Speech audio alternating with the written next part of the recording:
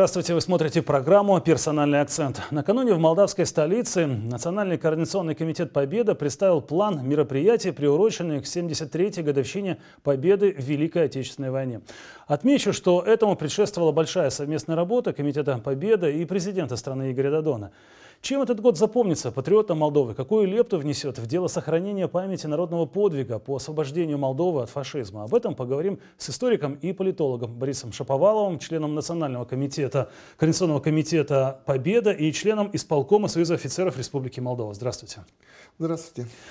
Ну, накануне, э, как я уже сказал, состоялась э, и вот презентация этого плана, и прошло расширенное заседание Комитета Победы с участием президента страны. Э, создана программа торжественных мероприятий, посвященная 73-й годовщине Победы. Э, в нашей студии, буквально накануне нашей с вами встречи, президент страны в ходе прямой линии говорил о том, что ждет кишиневцев и гостей столицы в эти дни, и конкретно 8-9 мая. И все же, э, чем этот год запомнится, что будет интересно, в чем мы примем участие в рамках вот этих мероп торжественных мероприятий, которые пройдут в майские дни?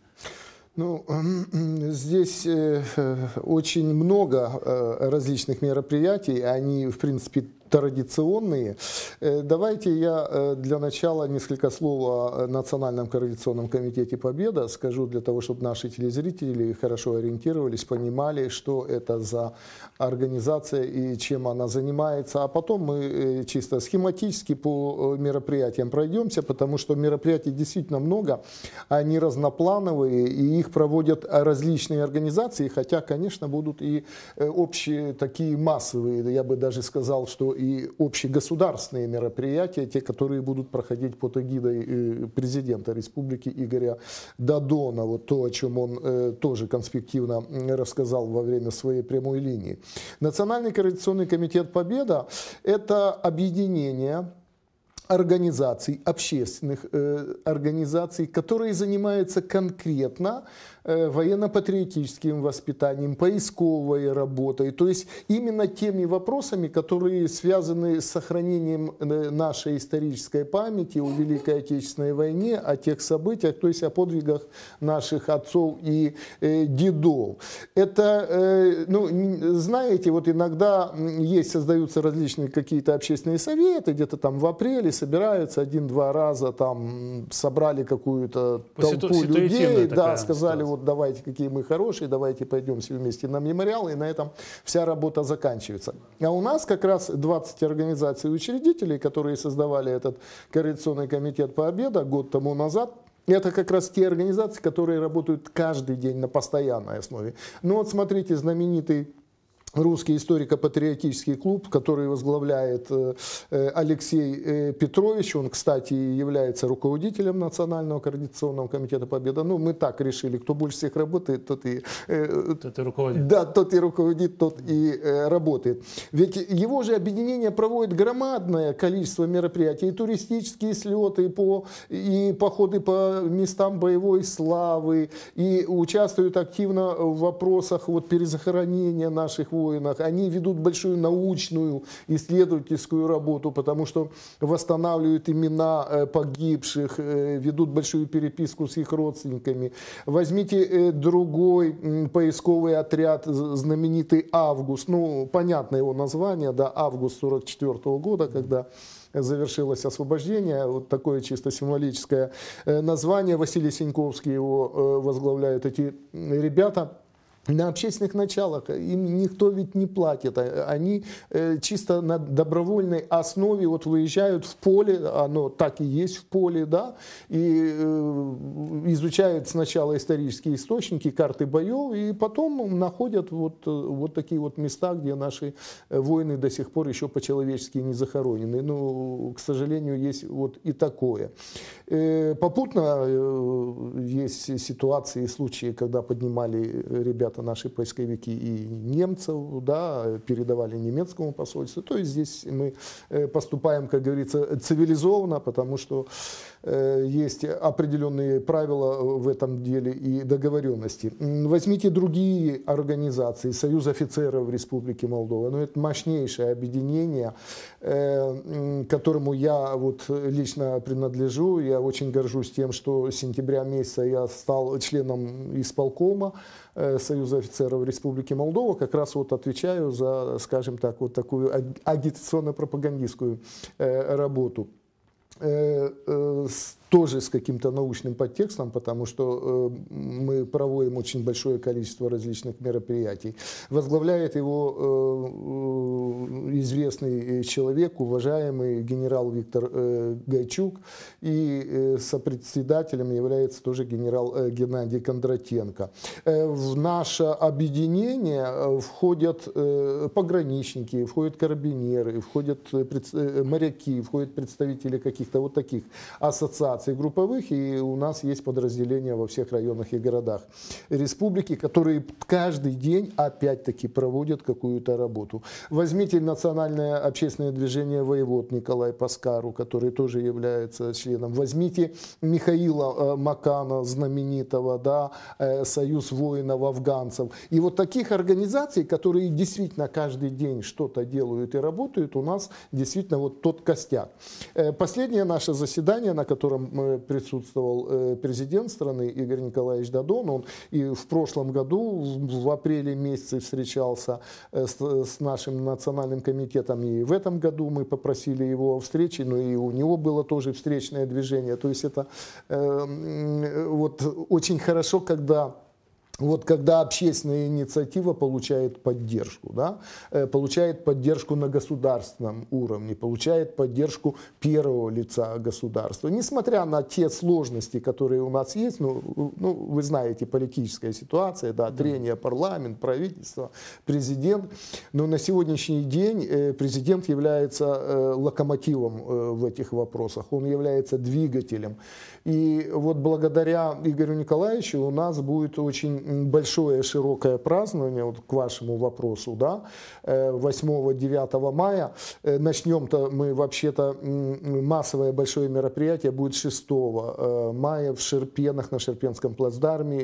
Опять будет перезахоронения наших воинов, вот эти э, наши отряды поисковые, они постоянно работают, поэтому э, это уже традиционно стало в, мае и в августе месяце, э, они проводят вот такие мероприятия. Естественно, в этом будут принимать участие вся республика. И это, по сути, не символический же Нет, жест, это, не... это возвращение имен это нашим возвращение героям. имен, это да. Же вот на, тех найдены останки конкретных людей, вернули имена, а не просто какие-то номера или там упоминание о том, что в братской могиле захоронено какое-то количество погибших. Конечно, воинов. конечно. Вот, э, Станислав, могу привести э, цифру. Там э, вот Алексей Петрович на заседании комитета рассказывал всем нам, ну и президенту, заодно о, об итогах нашей работы за последний год.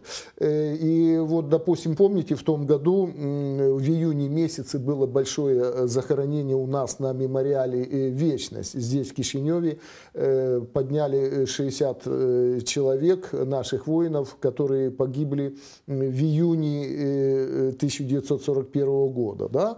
Вот. И сегодня, вот тогда, когда шло перезахоронение, было 6 или 8 имен установлено. Да? Сегодня это уже более половины, более 30. Вот скажите, вот 30 семей узнали, где захоронены их близкие, их Э, родственники. Ну вот во время этого мероприятия, я помню, вот из Израиля приехала дочь одного погибшего, с Украины несколько человек было. Но это, конечно, очень сложно описать в эмоциях, вот в чувствах, что люди э, переживают. Потом Э, как и э, в прошлом году, 8 э, мая, 8-9 мая на площади пройдет выставка военной техники периода Великой Отечественной войны. Ну, это мероприятие, особенно для детей, для молодежи, оно интересное. Увидеть настоящую видели, технику. Увидеть. Потрогать, пощупать, полазить, да, сфотографироваться. Вот эта вот атмосфера, конечно же, она будет интересна. И 8 параллельно с началом работы выставки будет большой концерт. Э, Газманов э, к нам э, приезжает, вот предварительно 9 он выступает в Москве, да? вот, а 8 он будет выступать у нас с большой концертной программой. Будут другие мастера искусств из России. И 9, 9 мая тоже будет концерт, но будет концерт артистов молдавской эстрады, молдавских мастеров. И 9 мая там же на площади вечером будет большой грандиозный грандиозный салют, ну, по примеру, опять-таки, э, прошлого э, года. Ну, самое центральное мероприятие – это, конечно, шествие бессмертного полка. И в этом году оно будет необычно, э, не, необычное. Почему? Потому что президент принял вот такое решение, и мы его в этом поддержали и считаем, что он э, поступает очень верно, правильно, он, э, он пойдет вместе с народной колонной э, в рядах бессмертного полка, вместе со своими детьми, которые тоже будут нести портреты своих родственников и так далее. То есть это вот такая символическая акция. И когда первое лицо государства это делает, делает это на официальном уровне, я считаю, что это придает вообще этому мероприятию, ну, скажем так, это, конечно, народная инициатива, это, конечно, порыв э, души людей, просто человеческий, да, но, с другой стороны, участие э, первого лица государства придает этому мероприятию какой-то государственный такой вот характер вот этого шествия. Ну и, и день 9 и мая – это государственный праздник. Да, э, у нас в стране, слава богу, слава богу, что это так, у нас государственный праздник. Ну, вы знаете, в прошлом году в Израиле 9 мая стало государственным праздником, да? Наконец-то. Э, наконец-то. Ну, там одна треть страны это выходцы из Советского, Советского Союза, Союза, и, естественно, все они, э, э, все их старшее поколение участвовало в годы Великой Отечественной войны, воевало и так далее. И вообще этот народ пострадал в годы Второй мировой войны. Мы это очень хорошо знаем. 6 миллионов евреев было целенаправленно уничтожено уничтожено. И вот они приняли вот такое мудрое решение. Когда смотришь на то, что сегодня происходит, допустим, в Польше, ну вот 600 тысяч э, человеческих жизней э, Советский Союз положил за освобождение Польши от фашизма, да, и сегодня, когда э, вот уничтожают вот эти памятники, памяти павших, э, тех событий.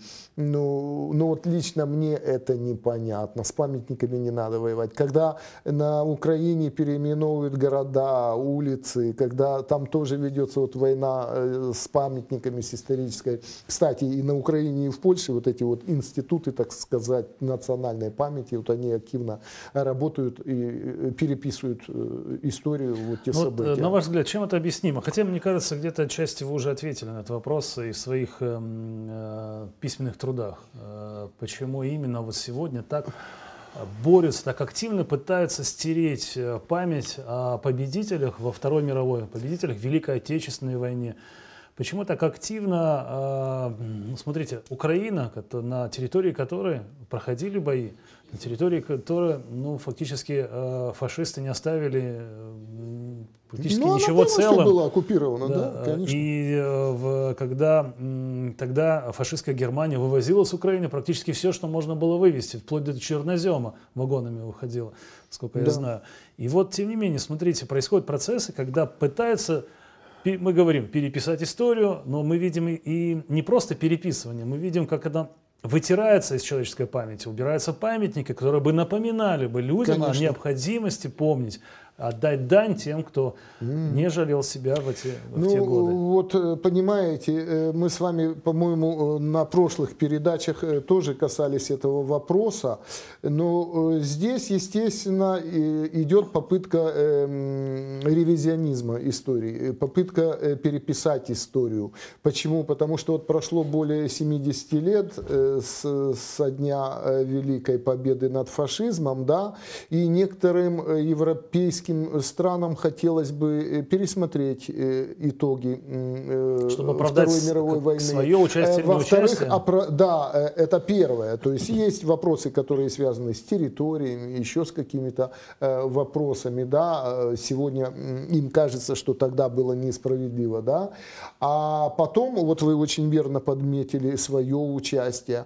А здесь надо говорить прямо, ведь Советский э, Союз воевал не с фашистской Германией. Советский Союз, и я не стесняюсь и не боюсь этого говорить, мне иногда говорят, зачем ты так резко, а, а, а, а как, когда надо говорить э, правду, когда они ее э, фальсифицируют, а мы что, должны молчать?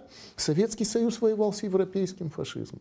Советскому Союзу объявили официально войну 9 европейских государств. И, кстати, 22 июня 1941 года это, кстати, для наших некоторых фальсификаторов молдавской истории, да, э, пруд э, перешли две румынские армии, одна немецкая армия, и через неделю к ним добавился венгерский корпус. Вот та правда, которая есть. И об этом, э, да, я понимаю, что э, прошло столько времени, но мы должны объективно об этом говорить, мы должны говорить о том, что да, вот действительно первый этап войны, извините, румынские армии дошли до Сталинграда, что они там искали, да, заблудились на больших просторах Советского Союза. Э, второй этап войны после 23-24 а, августа 1944 года, да, Румыния присоединилась к антигитлеровской коалиции. Но вот есть одно и есть второе, оно в истории так и должно остаться. И вот поэтому задача как раз вот э, наша, всех членов Национального координационного комитета «Победа», это прежде всего большая работа в трудовых коллективах, особенно в учебных заведениях. Ведь у нас большая проблема, Станислав, заключается в том, что наши дети Э, изучают вот этот курс фальсифицированной истории, истории румын, который даже в Румынии не изучается. У них нет такого предмета история румын, только наша здесь изобретение. Вот это полностью переписывание истории, это промывка мозгов. Спросите сегодня выпускника э, лицея, да, а, а сколько людей погибло в годы э, мировой войны вообще, а сколько погибло наших сограждан. Вам они на эти цифры, не, эти цифры не назовут, потому что они этого не изучают, они не знают. Они не знают о том, что э, в годы Великой Отечественной войны 391 тысяча э, граждан Республики Молдова, Молдавской Советской Республики, э, э, с оружием в руках воевала э, в Красной Армии. В румынской армии воевало всего лишь 28,5 тысяч э, бессарабцев, которые были призваны силой уже в 1943-1944 году. И то 14 э, тысяч из них перебежало в Красную армию. Короче, сдались в плен и перешли в Красную армию. И воевали в Красной армии и в добровольческой дивизии имени Тудора Владимира Владимиреску, ну, первой румынской добровольческой армии. 14 тысяч э, осталось, и то они хотели после Явско-Кишиневской операции, все написали заявление перейти. Э, тогда вопрос решался на уровне Сталина. Сталин сказал, нет, Наши люди, свои люди нам нужны и в румынской армии, раз они теперь уже наши союзники. Вот та правда, которая есть. Из этих 391 тысячи 250 тысяч награждены орденами и медалями. То есть это практически каждый второй. А по Советскому Союзу, я вам хочу сказать цифру, это каждый э, четвертый, пятый был награжден. Здесь наши молдаване, выходцы а, из Молдовы, каждый второй. Значит, те, кто воевал, они хорошо воевали. 19 э, героев Советского Союза. Вы не прочитаете это в учебнике истории. Четыре кавалера Ордена Славы мы сейчас вот спорим. Э, наверное, все-таки примем решение. Есть у нас уже пятый. Ну, надо кое-какие вещи э, уточнить. Да? Вот. 174 э, человека получили звание Героя Советского Союза э, на территории Республики э, Молдова во время боев. Из них 155 тысяч за освобождение нашего края, нашей страны. Конечно же, мы должны это знать. Конечно, мы должны вот это сохранять и передавать молодому поколению. Поэтому вот и задача наших организаций, вот проведение не только вот таких массовых больших мероприятий. А самое главное, это работа вот в школьной аудитории. Вот я, допустим, провел э, за последний месяц э, э, две большие встречи. Я проводил уроки истории. То есть мне объединяли, мне выдавали два часа времени, давали 9 и 12 классы. Все это с фильмом, все это со слайдами, все это красиво. Но когда дети слушают профессиональный рассказ о том, что это было, как это было, на цифрах, на фактах, на, на документах, конечно, это совершенно другое восприятие. И вот, вот это нам нужно на сегодняшний день. Согласен, делать. но смотрите, какой диссонанс. У нас э, 9 мая, День Великой Победы, государственный праздник. А в государственных учебниках истории говорится об этом периоде нашей общей истории с странами э, или республиками, которые входили в состав Советского Союза, говорится, самое незначительное, ну, уделено очень, ну, будем говорить, так сказать, самое незначительное место во всем, во всем этом учебнике. Да.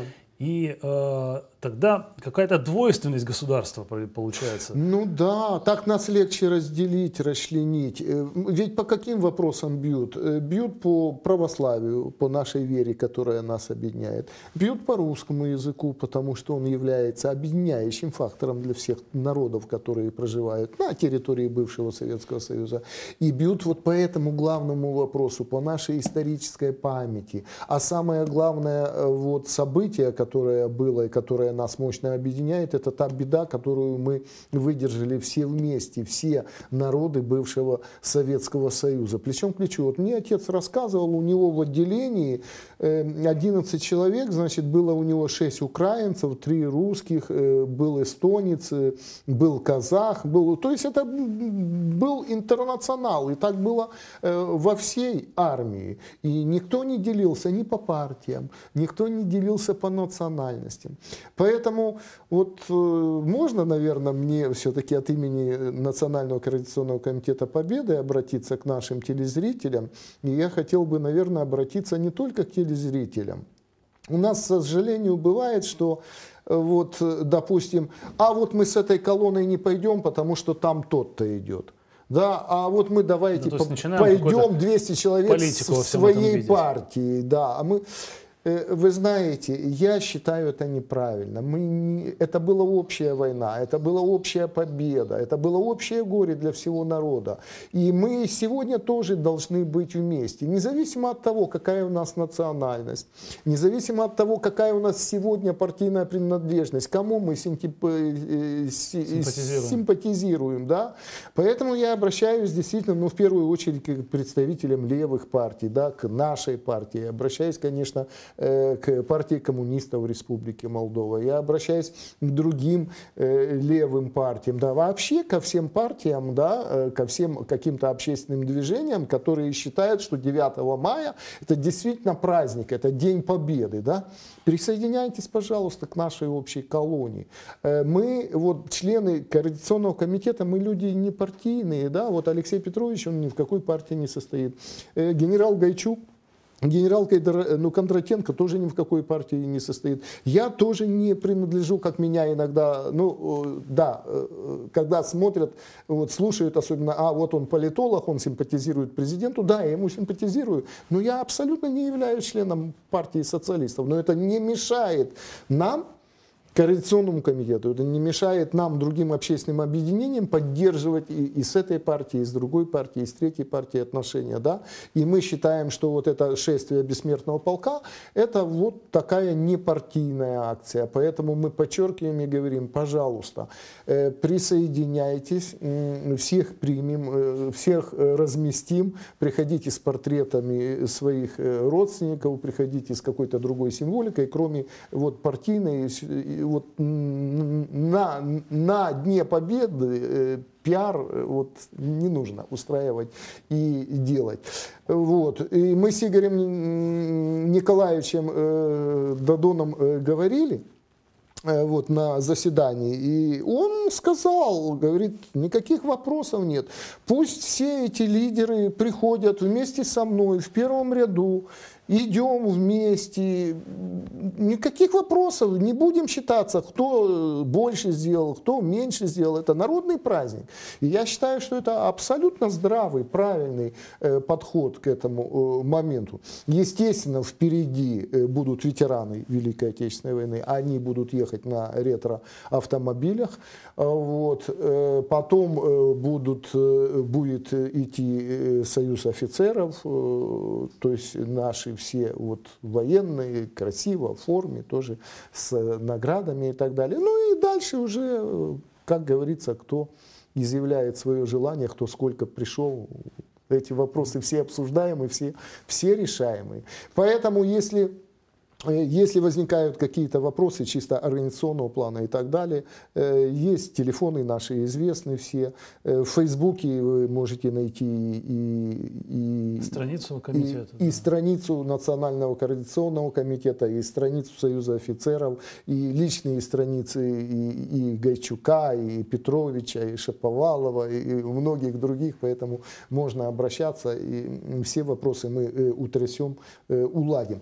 Вы знаете, знаете, меня радует вот э, реакция людей. Ну вот, допустим, э, наши же, да, э, вот, допустим, я, как член Союза офицеров, отношусь к, к организации ботаника, да, ну, сектор ботаника, наш председатель, вот, Иванов э, Цезарь Федосеевич, он проводит очень большую работу. Во-первых, э, ветеранами в первую очередь мы занимаемся на постоянной основе. Во-вторых, организация постоянно растет, мероприятия вот эти со школьниками организуем, проводим, да.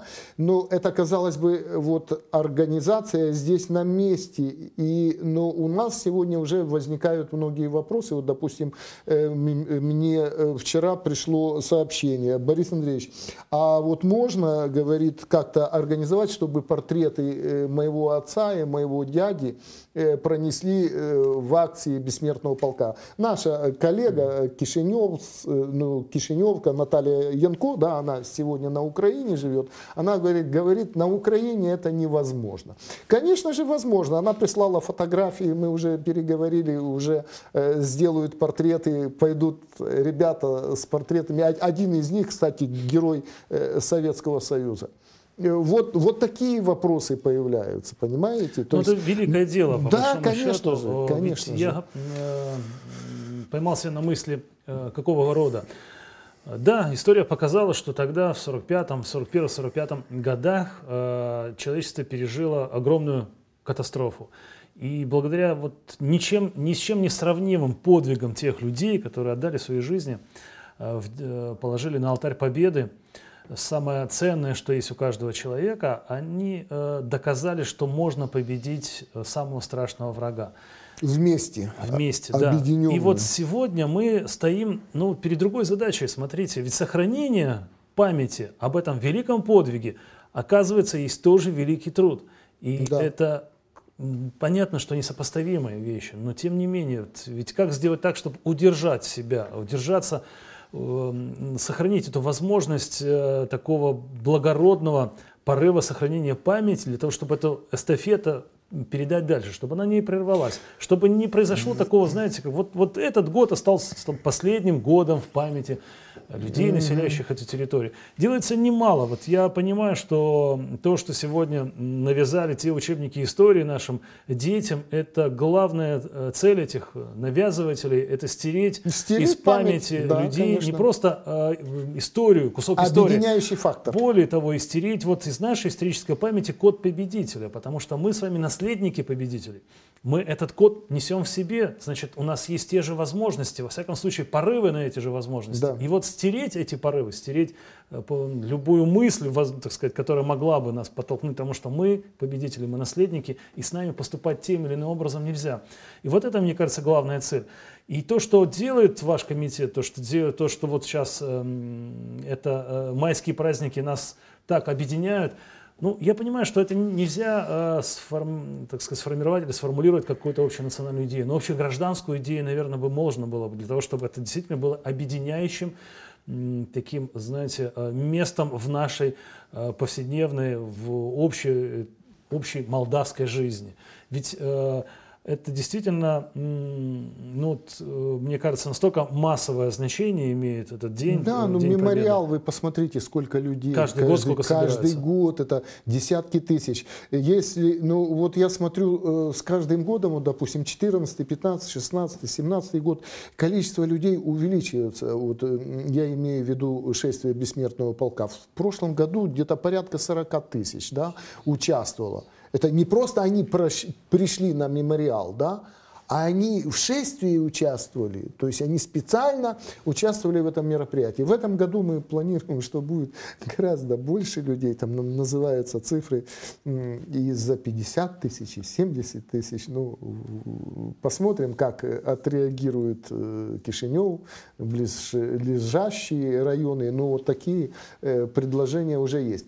Э, что здесь главное? Главное – Наверное, э, то, что э, этот э, праздник должен быть сохранен на государственном уровне.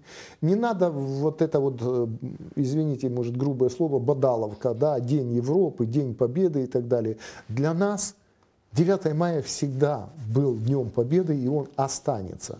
И те поколения, которые идут за нами, наши дети и внуки, для них это тоже должен быть День Победы, потому что, опять-таки, э, иначе получается, что мы э, плюем в могилы э, тех людей, которые нам обеспечили сегодня вот это мирное небо, вот эту нашу мирную жизнь. А мы не можем так поступать, потому что если мы сегодня так будем поступать, то через поколение точно точно так же поступят и э, в наш э, адрес. Вот этого мы не должны допустить. Естественно, нам надо на государственном уровне решать вопрос с преподаванием истории, с правдивым, с объективным. Вопрос вам и задать, как это а, сделать, Ну, посмотрите, да, да, у нас есть много каких-то спорных вопросов, да, можно по-разному на них э, смотреть, можно по-разному трактовать. 1812 год, да, там 1918 год, 1940 год, год. Но это уже прошлое, эта история. Это дело ученых, это дело там... Не надо из этого делать политику. Потому что Сегодня есть э, Республика Молдова, государство. Вот вы подняли э, вот этот вопрос, у вас прозвучало э, слова «национальная идея». Вы знаете, вот для меня национальная идея – это сохранение молдавской государственности. Вот я русский человек, я говорю, я патриот, я гражданин этой страны. И для меня национальная идея для того, чтобы здесь был молдавский язык, для того, чтобы здесь жили молдаване, и я себя считаю молдаванином по э, названию э, своего государства. Да? И я считаю, что если вот такая позиция у нас будет идти со стороны государства, когда мы не будем делить своих граждан на национальные меньшинства и на титульную нацию и прочее, да, ну вот звучит как-то, ну, да, вот, но, но это есть на государственном уровне, вот тогда, наверное, мы э, будем единым общим народом, вот э, той гражданской нации, о которой постоянно говорят некоторые руководители, но, к сожалению, они очень часто часто делают все, э, на, все как раз наоборот. Да? как раз, наверное, вот это исторический момент, когда 9 мая 1945 года, когда э, победа была достигнута э, благодаря усилиям огромного количества наци- народов, 27 миллионов погибших. Погибло, да. И погибших. Э, если даже перечислять все национальности, это займет огромное количество да, времени. Сколько, э, сколько национальностей, э, представители скольких национальностей участвовали в победе, в реализации в осуществлении этого подвига. И э, вот оно, само понимание всего этого и может стать цеметри, таким цементом, конечно, цементом конечно, для национального конечно. самосознания. Потому что тогда, да, ты причисляешь себя к победителю. Ведь не так давно еще совсем прозвучало, что с, с парламентских трибун одним из э, таких, э, знаете, временных политиков – Э, нашей страны, когда он говорил, что Молдову нельзя причислять, или он не причисляет ее к стану победителя. То есть мы страна проигравшая. А, Помните, Михаил ну, Гимпу? Гимпу да. Да, То есть да. я понимаю, что по-разному можно но... Ну, относиться, как к серьезному или несерьезному, но, он, но это те люди, которые, знаете, э, ну, будем говорить, э, разбрасывают семена на почву молодого сознания, mm-hmm. Mm-hmm допустим, понятно, что есть количество людей, которые, молодых людей, которые говорят, мы румыны. Дальше он говорит, что, ну, да знаете, Молдова мне неинтересно, я уеду отсюда жить. И Пусть вот взрастает он нечто. себя кем угодно, да, это его дело, как он себя самоидентифицирует. Но если он живет в нашей стране, да, в Республике Молдова, то на сегодняшний день он молдаванин. Румын, русский, украинец, гагауз, болгар, да? Вот. Но он гражданин Республики Молдова. Вот мы должны исходить из этого. И в этом плане мы должны наводить э, порядок прежде всего вот в системе образования, в системе воспитания детей, для того, чтобы э, вот не прерывалась вот эта связь поколений. Потому что вот посмотрите, что происходит на Украине. Ну вот американцы целенаправленно за 20 лет вложили 5 миллиардов, да, переписали всю историю. Э, что сегодня там происходит, да? Ну, вот это вообще абсолютно непонятно. Мы наблюдаем бы. практически развал да. Э, государства, государства ну, Украины. Да, да, да. То, да. что сегодня существует. Поэтому, там, если это... мы будем идти вот точно вот этими шагами, мы получим то же самое э, здесь, э, на нашей земле. Поэтому, конечно же, очень э, много, большая работа проводится, но она э, э требует Э, э, финансов, она требует э, каких-то материальных вложений, это ремонт памятников, это ну, восстановление памятников. Вот наш комитет вот, непосредственно Алексей Петрович занимается там вот в Солежском Э, районе, в некоторых э, других районах вот сейчас вот решаются вот эти вот программы. Тоже поставили некоторые вопросы перед э, президентом Игорем Николаевичем. Он пообещал как-то найти возможность помочь вот в этом вопросе.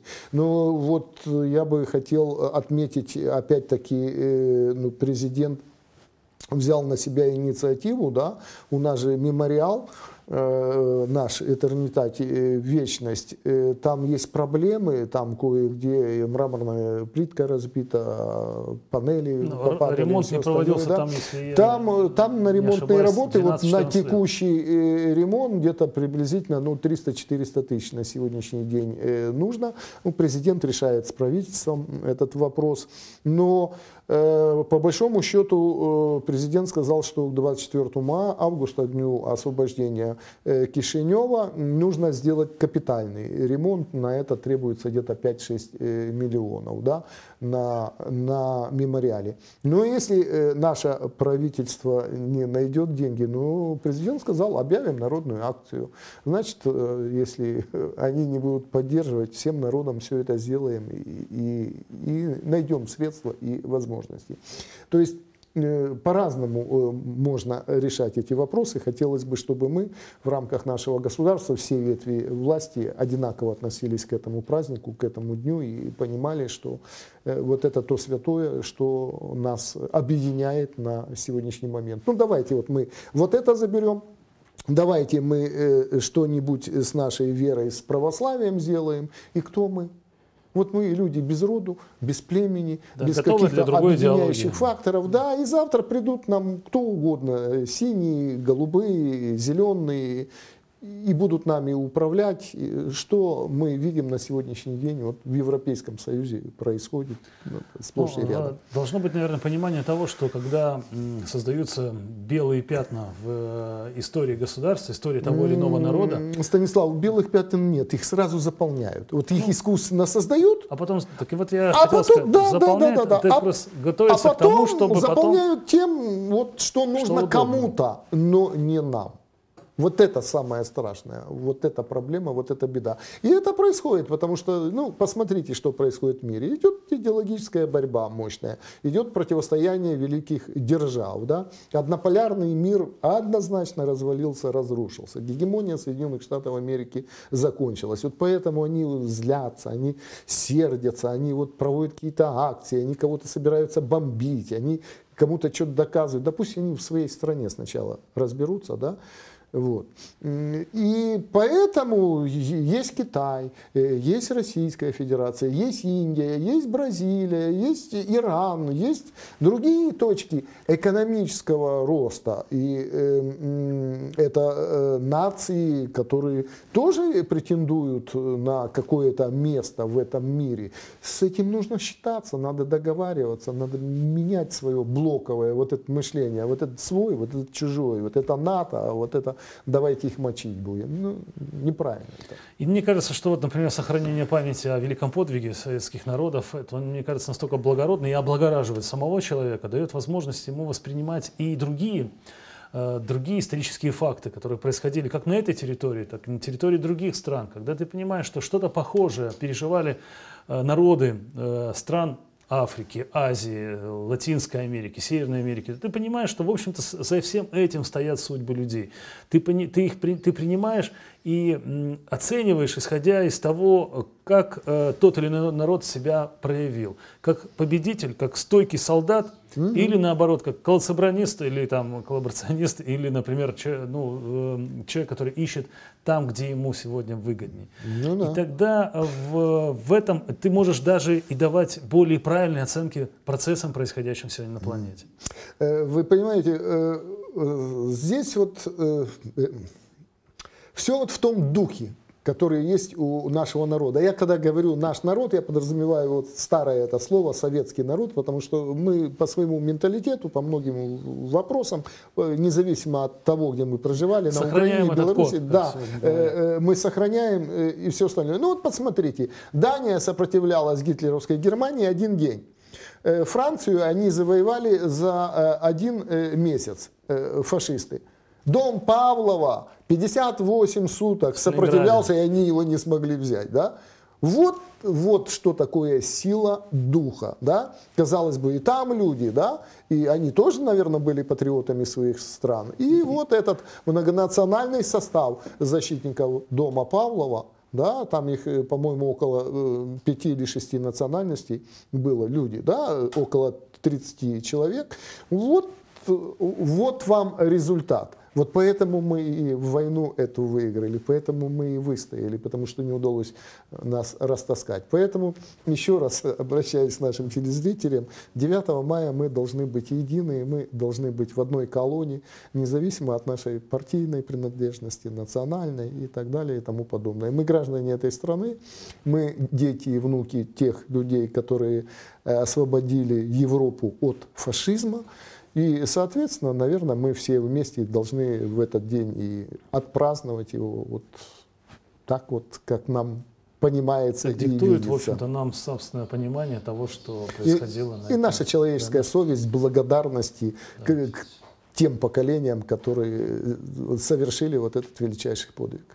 Борис, спасибо вам за этот разговор. Я отчасти все, что вы говорите, не отчасти, целиком принимаю. Я думаю, что наши телезрители также вместе с вами э, сопереживают э, и этому дню, и понимают значение этого дня, этой даты в истории нашей страны, в истории не только страны, в принципе, наверное, континента, потому что, в общем-то, это война, в которую была втянута вся Европа. Угу.